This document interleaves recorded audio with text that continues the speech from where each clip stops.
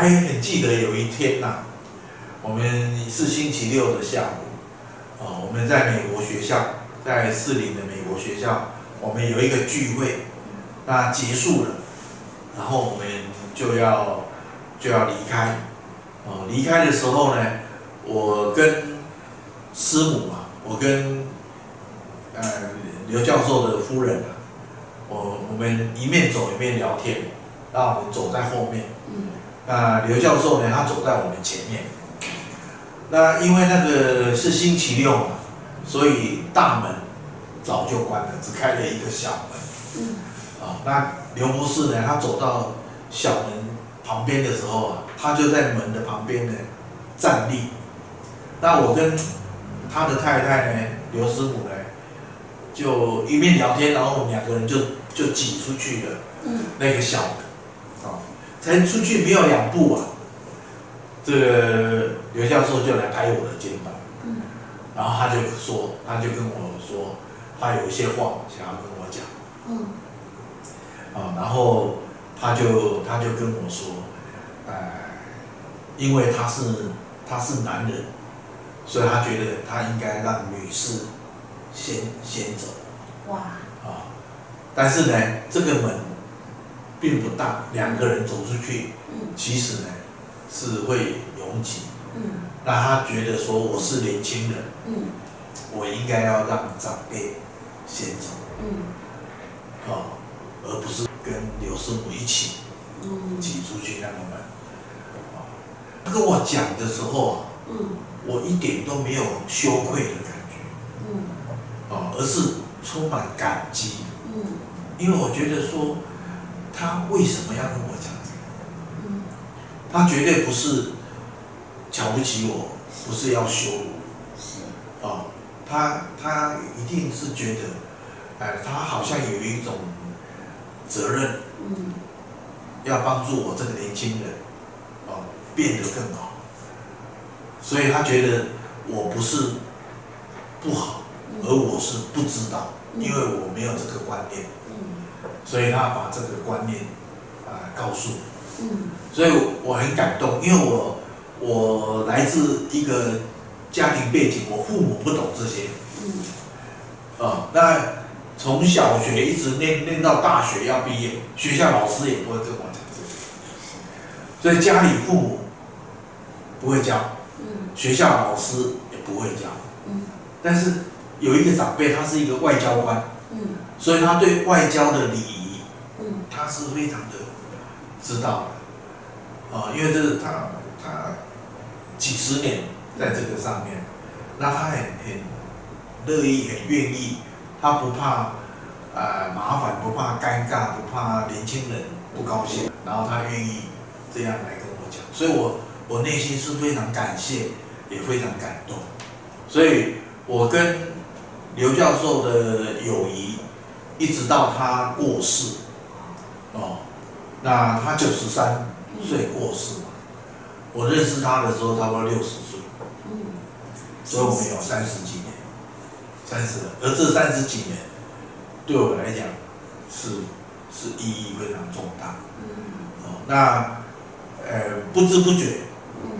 我的年纪也到，呃，我认识刘教授的那个时候，啊、所以我也觉得，呃，现在我六十几岁了，我也成为人家的长辈，嗯。所以我我也认为我有那种，呃，责任也有使命，啊、应该帮助一些年轻人嗯。去更了解自己，啊、更了解生命，更了解这个世界，嗯。那也也愿意花时间去聆听他们的的生命啊、生活啊，他们他们的的感受啊、他们的需求啊，嗯。哦，他们跟家人的复杂的一些关系啊，或者在他人生路上，不管是感情啊、事业啊、身体啊，嗯。呃，遭遇到一些困难的时候，嗯。那跟他们一起一起聊一聊、谈一谈，有时候一起安静，哦，看看呃内在的智慧有什么样的引导。嗯。所以我觉得，呃，这样的陪伴其实是很有意义。啊、那当然，后来不管我我发起的这种呃华人行动的培训，嗯。或者是在呃台湾、台北、台南、高雄的这种生命工作的团队嗯，的培训，种种大概也有一百多个人，我知道。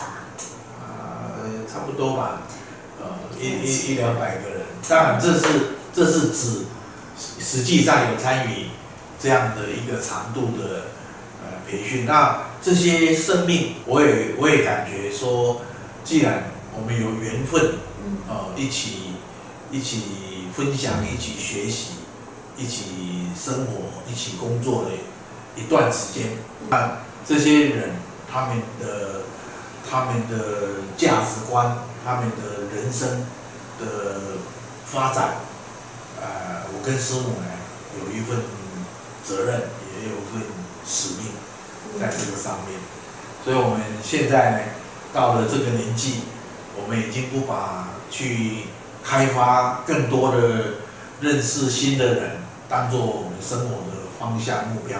嗯。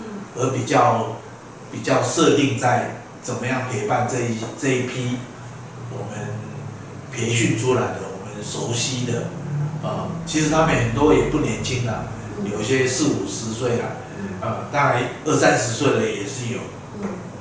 但是怎么样陪伴他们，让他们的对生命的呃整理，对自我生命的整理能够更深入，啊、然后让他们在面对、在应对、在处理呃一些其他人的生命的课题，他们在这方面的能力能够更增强，哦、洞察生命的的需要。嗯呃，应对生命的难题这方面的能力呢，能够更深入。那我想，呃，希望能够花一些时间，啊、不管是呃十年、二十年，能够陪伴一些人，让他们有能力去做，甚至做的比我们更好。真的很感动，就是刘老师跟刘玉堂博士的相遇，那是一段很珍贵的经验。那刘老师也透过这个经验呢，你对你一生也有很大的影响。可是你也成为我们很多人的良师，我相信只要是认识刘老师的朋友，都是觉得是人生中最棒的一个经验，然后认识这样的良师，在我们的生命中给予我们最好的一个陪伴。然后我也很幸运，可以跟着刘老师学习了二十年，所以大家加油哦！谢谢你观看我们的影片，如果你很喜欢，欢迎你按赞、分享，然后订阅。如果你对我们的影片有任何的疑问，想要了解更深入的话，就欢迎你在下面留言，或者是写到我们的 email r j l i u 一一二六小老鼠 gmail c o m。